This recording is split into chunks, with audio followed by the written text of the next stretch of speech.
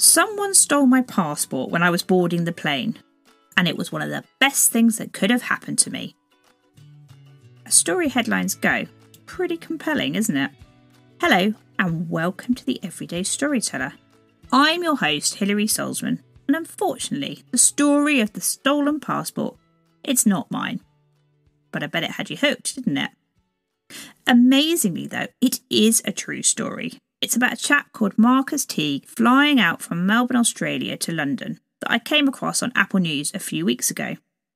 It really is an incredible tale that centres around human kindness, a rather special Cathay Pacific employee who went the extra mile, and a reminder that honest mistakes do happen. Someone accidentally picked the passport up, not realising until they got to their first stopover in Hong Kong. So, why am I sharing this? Well, I think there's two lessons I take from this. The first is all about the power of an intriguing headline that taps into an emotion we can all recognise. Hopefully, none of you have ever lost your passport boarding a plane, but I bet you anything that you can imagine just how awful it would make you feel if you did. The writer knows that and is funneling that knowledge into the story and then some. Think about how you can use emotion in your own stories. Can you take a functional piece of content and turn it into a story by tapping into your own emotions, those of the people in your story, or the shared emotions of your audience?